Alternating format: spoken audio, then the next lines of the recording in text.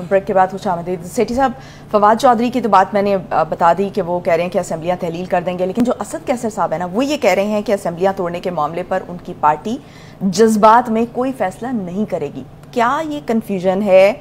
या ये डिवीज़न आ रही है हमारे सामने पीटीआई के अंदर? देखिए, ये तो बिल्कुल बहुत से लोग हैं पीटीआई के अंदर, जो समझते हैं कि जितनी देर और हुकूमत में रह जाएँ, वो अच्छा है। हुकूमत का पावर है, हुकूमत के फंड्स हैं। अगर इलेक्शन छः माह में होनी है या सातवें माह में होनी है तो ये अभी ये करने की क्या ज़रूरत है? और घर जाने की क्या ज़रूरत है? वो केयर टेकर्स आ जाएँगे, हमारे पैसे भी रुक जाएँगे, हमारे प्रोजेक्ट्स भी रुक जाएँगे, सब कुछ रुक जाएगा। तो अभी तो हमारे हाथ में है सब कुछ। अभी चौरी परवेज़ लाई साहब ने कोई साठ अरब रुपए के करीब तो सिर्फ़ अपनी गुजरात कंस्टिट्यूंस के ऊपर फंड्स दिए हैं। सब फंड्स मांग रहे हैं एमपीएस सारे फंड्स मांग रहे हैं एमएनएस फंड्स मांग रहे हैं। फेडरल गवर्नमेंट तो दे नहीं सकती क्योंकि एमपीएस के, उनके कंट्रोल नहीं है। उन्होंने अपने एमएनएस को देने शुरू कर दिए फंड्स वहाँ से। मगर जो बेसिक चीज़ है इस वक्त वो तो प्रोविंस है ना। प्रोविंस के अंदर पैसे लगेंगे तो फिर जाके वोट बनता है। तो अब तो इनके पास है प्रोविंसेस तो इसीलिए वो छोड़ना नहीं चाह रहे और यही खान साहब को वो समझाएँगे कि अभी आप मत करें ठहर जाएँ ठहर जाएँ मजाकरात कर लें ये कर लें वो कर लें। इसीलिए मेरा ख्याल है असद कैसर साहब ने जो बयान दिया है कि, जज्बाती इशारा ये है कि खान साहब जज्बाती हो गए हैं। हम तो जज्बाती नहीं हम तो बड़े प्रेगमेटिक हैं हम तो सब चीज़ सोचते हैं।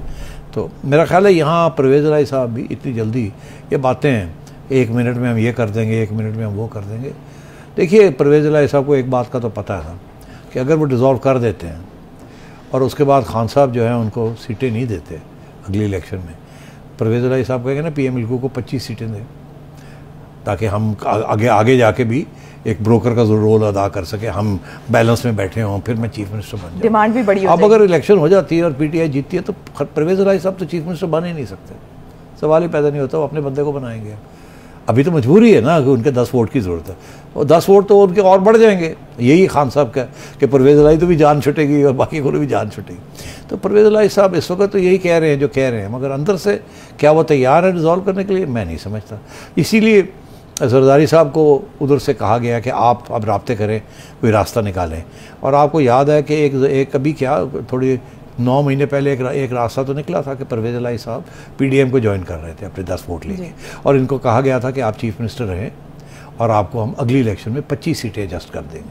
और ये पच्चीस मांग रहे थे और नून लीग ने कहा बारह दे देंगे आपको। उन्होंने कहा नहीं बारह नहीं पंजी दो तो उसमें बातचीत चल रही थी। तो फिर आखिरी वक्त कोई फ़ोन कॉल आई और परवेज लाई साहब यू टर्न लेके खान साहब के पास रात रात फैसला हुआ नहीं वो सुबह के वक्त फैसला। रात को एक फैसला तो सुबह कोई और हुआ। तो तो अब भी ऐसे हो सकता है कि परवेज़ लाई साहब जो है वो अपना यू टर्न ले लें। बिकॉज़ देखिए, इमरान खान साहब के साथ परवेज़ लाई साहब को एक बात का एहसास होना चाहिए और है भी। फ्यूचर नहीं है।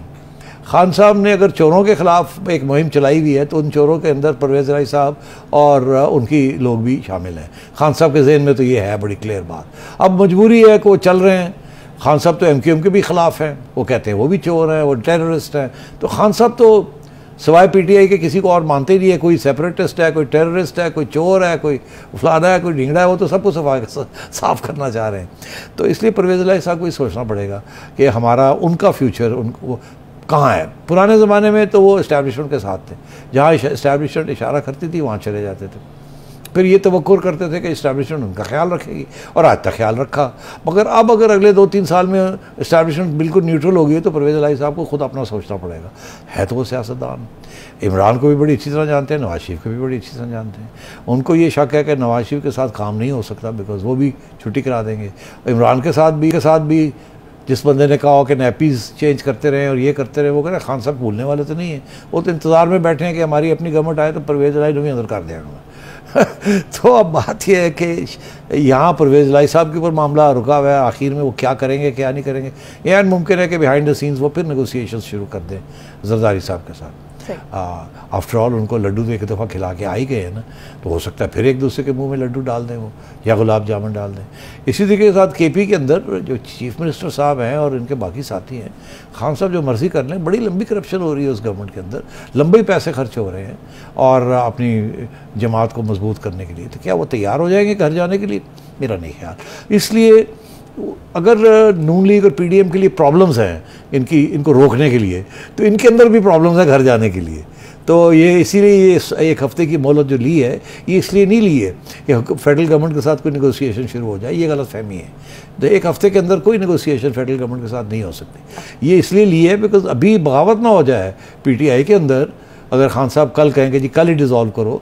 तो वहाँ बगावत ना हो जाए तो फिर उसको भी तो मरम पट्टी करनी है वैसे भी वो तो ऐलान करने के बाद मुशावरत कर रहे हैं ना। हाँ तो उनको तो पता ही नहीं था हुआ क्या है तो इसलिए ये भी मामला चलेगा कोई जल्दी कोई चीज़ नहीं होने वाली। तो फिर ये जो पीडीएम है ये क्यों चार से छः महीने मांग रही है? ये क्यों चार से छः महीने डिले कर रही है? क्योंकि चार से छः महीने में ऐसा ये क्या कर लेंगे कि मीशत भी बेहतर हो जाएगी? जो मीशत का ये कह रहे हैं कि मीशत थोड़ी सी स्टेबल हो जाएगी आवाम को थोड़ा सा रिलीफ दे देंगे। तो ऐसा क्या होगा चार से छः जी बड़ा अच्छा उसकी वजह यह है कि ये उम्मीद है। ये इनकी उम्मीद है कि जितना टाइम और मिल जाए उस टाइम में आज की जो हालात हैं उससे बेहतर होगा इससे ख़राब तो नहीं हो सकता। आजकल इतने हालात ख़राब हुए हैं। और अगर कुछ सियासी स्टेबिलिटी आ गई तो कुछ बाहर से आईएमएफ से इधर उधर से पैसे वैसे आ जाएँगे और छः माह के अंदर और कुछ नहीं तो जेब में कुछ पैसे आ जाएँगे। और वो जाने से पहले हम कुछ पैसे वाम के ऊपर खर्च कर देंगे। तो उसके साथ शायद कुछ थोड़ा बहुत बचाव हो जाए। इससे ज़्यादा उम्मीद नहीं है कि छः माह के अंदर अंदर ये मीशत जहाँ गिरी हुई है, एकदम उठा के आप ऊपर ले जाएँगे, ऐसे नहीं हो सकता। बड़े बुरे हालात हैं। उनका ख्याल है कि अगर अगला बजट जो है वो किसी तरीके से नरम किस्म का बजट हम ले आए। तो उसके साथ फ़ायदा हो जाएगा। उसके बाद इलेक्शन कॉल कर लें। आ, तो अगर वो बजट सख्त आना हुआ जो कि लगता तो ऐसी है कि सख्ती के बगैर होगा नहीं तो फिर मसले बन जाएँगे। अब मसला ये है कि अभी आईएमएफ के साथ मजाकर जो है वो अगली जो पैसे मिलने हैं आईएमएफ से वो अभी कोई इम्कान नहीं है। अभी बहुत सी मुश्किल हैं। इनके बजट्स के जो टारगेट्स हैं वो पूरे नहीं हो रहे। अब डार साहब लगे हुए हैं, आईएमएफ को समझाने, मगर वो समझने वाले नहीं हैं। उनके अपने रूल्स हैं, उनके अपने रेगुलेशंस हैं, उनकी अपनी कंडीशंस हैं टारगेट्स हैं।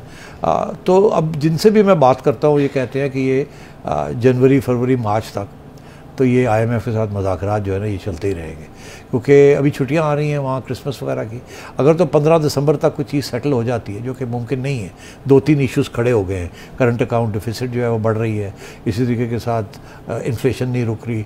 टैक्स कलेक्शन के टारगेट्स गिर रहे हैं। रेमिटेंसेस गिर रही हैं एंड सो ऑन तो और जो एक्सचेंज रेट है उसको आर्टिफिशियली रोकने की कोशिश की जा रही है। तो मेरा नहीं ख्याल कि अगले पंद्रह दिनों में आईएमएफ के साथ कोई कामयाबी होने जा रही है। उसके बाद आई एम एफ़ वो क्रिसमस क्रिसमस छुट्टियाँ छुट्टियाँ आ जाएँगी। वो एक महीना फिर कोई मज़ाक नहीं होंगे। फिर जनवरी में जाके फिर ये शुरू होगा। उसके बाद जब शुरू होता है और फिर पंद्रह दिन लग जाते हैं मसले हल करने में तो जनवरी का आखिर हो जाएगा। फिर उसके बाद पूरा महीना लग जाएगा, ये अपने बोर्ड आई जो है वो जाता है अपने बोर्ड के पास वहाँ दिखाता है, उनसे ऊपर वो लेता है। तो मार्च में जाके इनको पैसे मिलेंगे। हाँ, तो अगर मार्च में पैसे मिलने हैं तो पैसे तो अब चाहिए। तो उतनी देर तक तो और भी नुकसान हो जाएगा तबाही हो जाएगी। तो मैं समझता हूँ इस किस्म के प्रॉब्लम्स आ रहे हैं आ, और प्रेशर गवर्नमेंट के ऊपर कि जितनी जल्दी इलेक्शन केयर टेकर आ जाएँ ये बोझ उठाने के लिए एक तरफ़ वो प्रेशर है दूसरी तरफ़ ये है कि नहीं नहीं बैठे रहो टिके रहो लड़ो झगड़ो अपने अपनी पोजीशन को बेहतर करने की कोशिश करो क्योंकि जितनी देर आप बैठ जाएँगे उतनी देर आप शायद कुछ ना कुछ कर लें। ये इस किस्म की सूरत हाल है। तो यूट्यूब पर गूगली टीवी देखने के लिए youtube.com की सर्च बार में गूगली टीवी टाइप करें। गूगली टीवी के पेज पर सुर्ख रंग के सब्सक्रिप्शन वाले बटन पर क्लिक करना ना भूलिए। YouTube पर अपलोड होने वाली वीडियो से बाखबर रहने के लिए बेल आइकॉन पर क्लिक कीजिए। आपको हर नई आने वाली वीडियो के बारे में नोटिफिकेशन मौसू हो जाएगा।